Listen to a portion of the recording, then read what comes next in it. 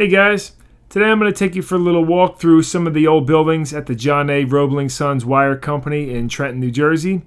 Their most notable project was the building of the Brooklyn Bridge, and I'll plug a few clips in the beginning here to just give you an idea of some of their accomplishments. But there's another video that you should definitely check out. I'll plug it down below if you're interested in more of the history.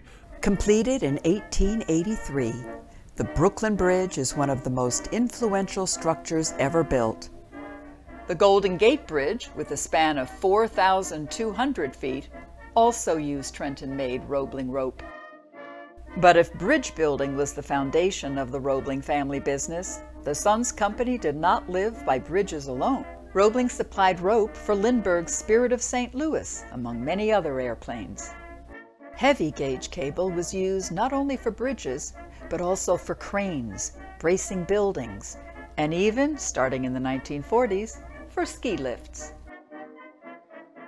In 1974, the Roebling operation shut down permanently.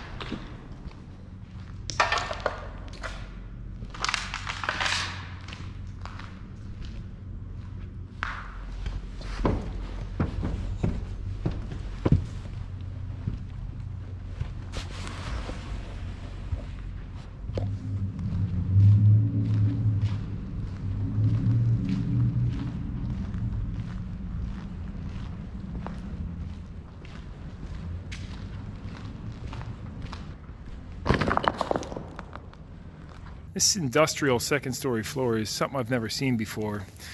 I'm sure it's pretty common, but uh, it's actually blocks of wood that are like brick sized with the grain sticking up. And that's how the entire floor is. Very heavy duty. And I guess some moisture has gotten on them and they're swelling, buckling up. But uh, it's kind of neat. I've never seen that before. Like from afar, it almost looks like bricks, but it's not.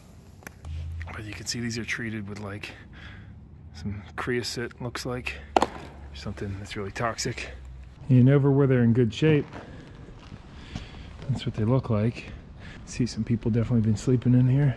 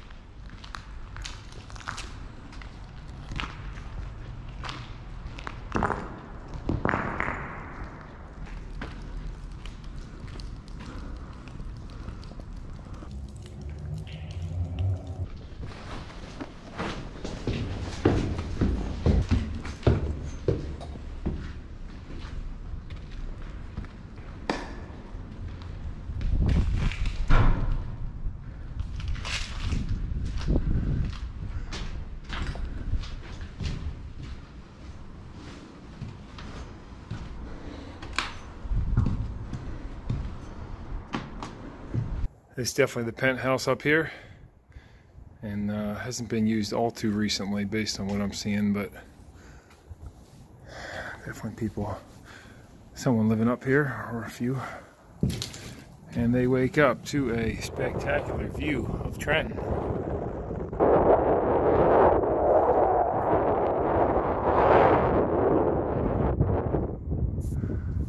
It's the old section of the Roebling plant that's been redeveloped into a shopping center over there. So eventually they'll they'll do something with this too. I'm sure. Oh look at that. You can see the Tullytown dump all the way over there. Eh, you probably can't see it on the camera, but it's out there. You see that mound? Yeah, that's the dump.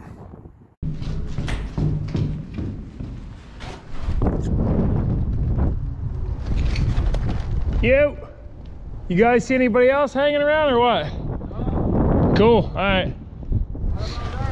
Up top here's got the pimp spot, man. It's a penthouse up like four stories up. It's really, really pretty view of the sunset up there. It's awesome. What about that one? What about it? Huh? Nobody inside now. Oh, it looks, if you go inside the bottom there, it's uh, it's different. It's all concrete pilings and stuff. It's neat. All right, man.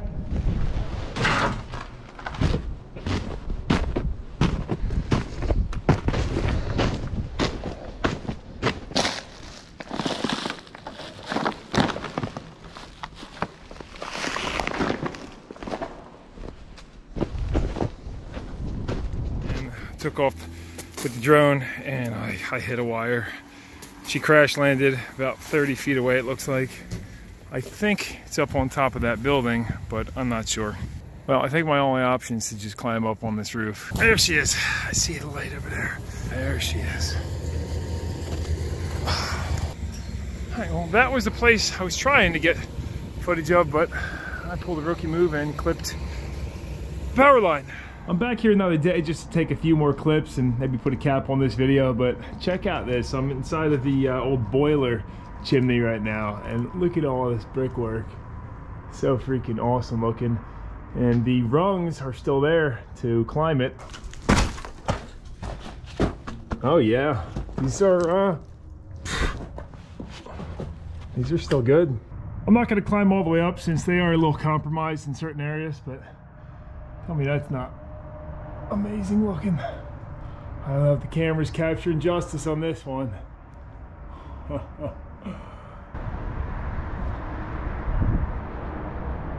In present day, you can see phase one has been completed, or had the shopping center. Uh, the old rope works has been converted into the Roebling lofts. I'm pointing at right there. Uh, I believe they have some office office space in this one, and then you have the the whole shopping center. And the buildings we were walking through are located right over there. So um, eventually they're gonna develop all that probably into more housing. It's kind of cool how they left the skeleton of the building here and you just drive right right under it. By the way, in the early 1900s, there was a fire that destroyed most of the buildings in this complex. I say it was more than likely arson because the fire alarms had been cut and then they were pretty much rebuilt immediately. You ever want to grab a beer at a cool place, stop in the Clinmont Cafe. Good times over there. Feel a little out of place though. Actually, hey, look at this. Burned December 1911, rebuilt 1912. I don't know if you can see that up there. I thought it was in 1917, but I'm sure maybe there were a few fires.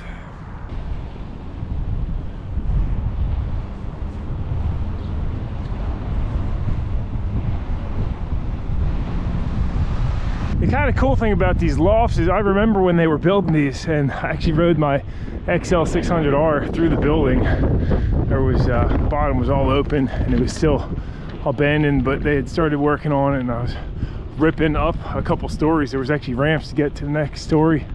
And possibly one of the coolest things is this Route 129 used to actually be the Delaware Raritan Canal. Went from the Delaware River to the Raritan River and now they've paved it and of course, that was a long time ago, but one of the other great things these people living in the lofts have is the Hamilton Street train station, or Hamilton Avenue train station in Trenton. So you can run that all the way down to Camden and then catch a, catch a line over to Philly too, which is nice. Back to my truck.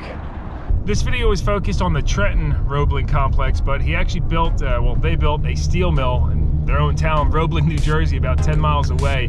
Uh, another guy did a great video on that. I'll plug a link to, to it down below.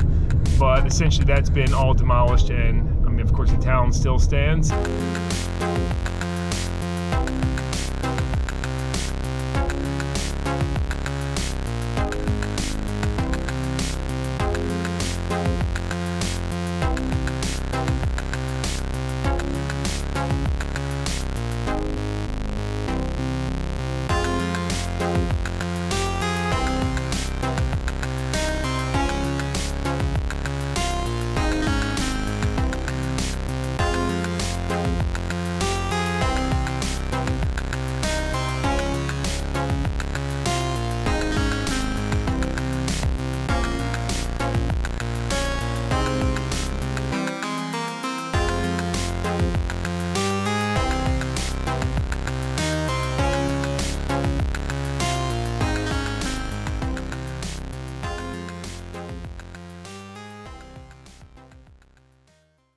Right across from the old Roebling factory, is the Clinmont Cafe.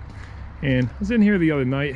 It's a pretty interesting place. It was once known for its seafood, but I met a old guy, Tony, who's 76 years old. He had been coming here for 40 years.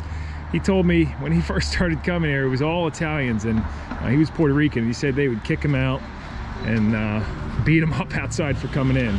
It's now mostly Guatemalan joint, but they're friendly.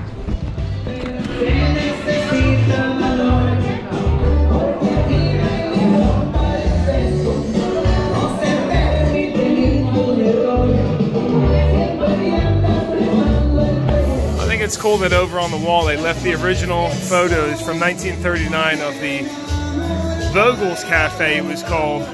And I'm not sure what time, uh, what year this place was built originally, but you can see had the original rail car lines going through it, and the Roebling plant was in existence. I just think that's really cool that they left those on the wall.